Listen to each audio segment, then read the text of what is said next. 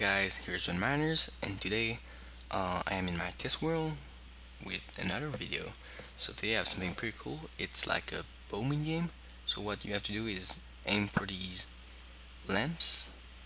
As you can see, they turn off when I get get them. So pretty cool. So as you can see it was in, it has to be in this wall square doesn't have to touch to the um, detector rail. So what's really cool about this design is that it's real small as you can see. One wide six long three high. Pretty cool. It's using uh, quite a bug I could say. Um, what it is uh, it was discovered by uh, NicemarkMC sorry guys there's gonna be a video him explaining how this thing is working but really really fast. Um, there's a a redstone here redstone dust we can't see because I can't open this chest. But this comparator is looking at this and it sees uh, a redstone. But then this piston push a block on top so it's locked and it's supposed to be off.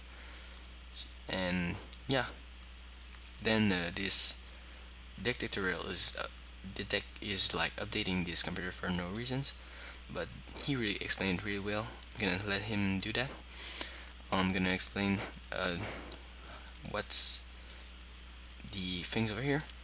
Um, so as you can see uh, I thought of using bow because it's only updating once uh, the detector rail so you can play without having to clear the arrows and it's perfectly working.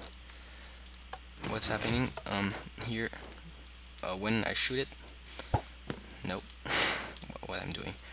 So when I'm shooting uh, it's going over here because uh, this hopper is taking it because there's no block on top anymore. It's gonna go here. When I shoot it's going through these hoppers into this chest but we can't see it now. So as you can see it's in the chest and yeah it's doing it again. And also locking this hopper so it doesn't take it back. So that's basically how it's working. All you have to do now is make a randomizer and point system and all of that and you can have your own range game. So hope you like it make a game with it and yeah that's everything. Thank you guys. Ooh.